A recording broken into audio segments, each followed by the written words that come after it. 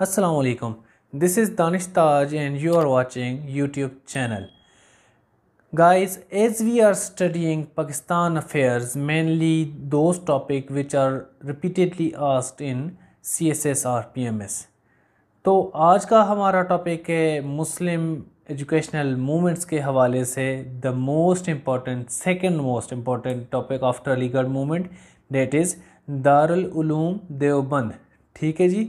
दारुल उलूम देवबंद 30 मई 1866 में ये शुरू किया गया था। ठीक है ये एक मदरसा था। Which was actually countering Aligarh तहरीक। ठीक है जी अलीगढ़ मूवमेंट ठीक है अब देखते हैं इसका बैकग्राउंड क्या है। आ, किस सरकमस्टांसिस में ये स्टार्ट किया गया था। Aligarh movement promoting western education actually ये एलिगेशन थी या ये कॉन्सेप्शन थी अबाउट अलीगढ़ मूवमेंट के, वो वेस्टर्न नॉलेज को प्रमोट कर रहे हैं। वेस्टर्न एजुकेशन को प्रमोट कर रहे हैं और दीनी जो तालीम है, उसे नहीं प्रमोट कर रहे। वो पीछे रह जाएगी अगर वेस्टर्न एजुकेशन को ज़्यादा प्रमोट किया गया था। ये एक्चुअली कॉन्सेप्शन थी among Muslims number two Christian missionaries threatening Islam जो क्रिश्चियंस थे जो ब्रिटिश एम्पायर के साथ आए थे, वो साथ साथ अपने दीन की तबलीग भी कर रहे थे। ठीक है जी they were not just ruling in डोपाक but they were also preaching their religion ठीक है? तो ये इस्लाम के लिए ख़तरे की बात थी इस इलाके में कि कोई और आकर यहाँ पर अपना, अपने दीन की तरवीज या तबलीग करे। ठीक है? बैकग्राउंड में जाते हैं, ये दूसरा पॉइंट हो गया।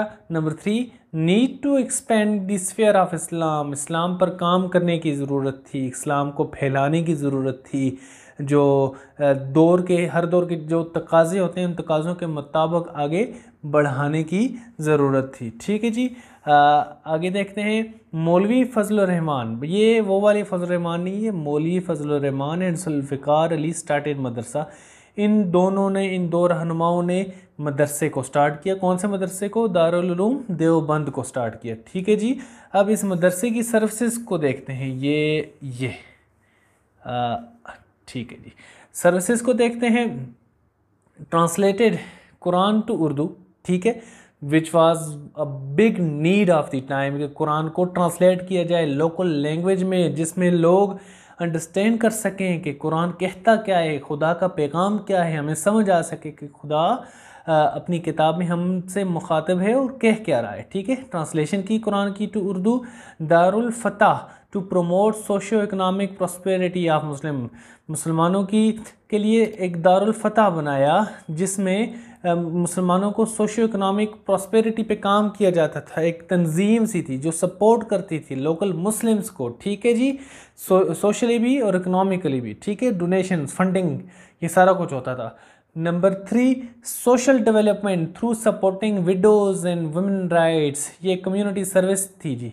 ठीक है? जिसमें जिसमें बेवाओं को और ख़वातीनों को हेल्प किया जाता था, ख़वातीन के हकूक़ पे काम किया जाता था। ठीक है, एक सोशल एक सोशल पर्सपेक्टिव है किसका? दारुल देवबंद का या देवबंद तहरीक का। ठीक है आगे देखते हैं, हिंदू मूवमेंट काउंटेड हिंदू शुद्धि जो, शुद्धि और भक्ति मोमेंट्स थी उस टाइम के शुद्ध कर दें, कर दिया जाए तमाम लोगों को। और हम भगत हैं, वो मतलब वो जो पहले शेख अहमद सिंधी के टाइम पर तहरीकें चली थी। उन, उसी तरह की कि we are we are we are the symbols of God on this earth ठीक है? इसी तरह की ये भक्ति और शुदी तहरीकें भी थी, ठीक है? नंबर फाइव इंटरनेशनल पॉपुलैरिटी ठीक है जी, इसको बड़ी इंटरनेशनल फेम मिला मुस्लिम स्फेयर्स में स्पेसिफिकली जो मुस्लिम ममालिक थे, उसमें दारुल देवबंद को बहुत ज़्यादा fame and popularity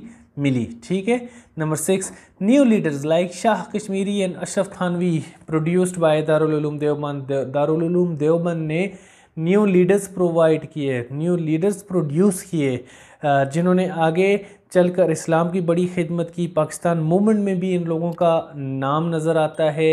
Because they were influential people उनकी स्पीचेस उनकी राइटिंग्स उनका इन्फ्लुएंस था माशरे पर। ठीक है? ये लोग कहाँ से पढ़े दारुल देवबंद से। ठीक है जी?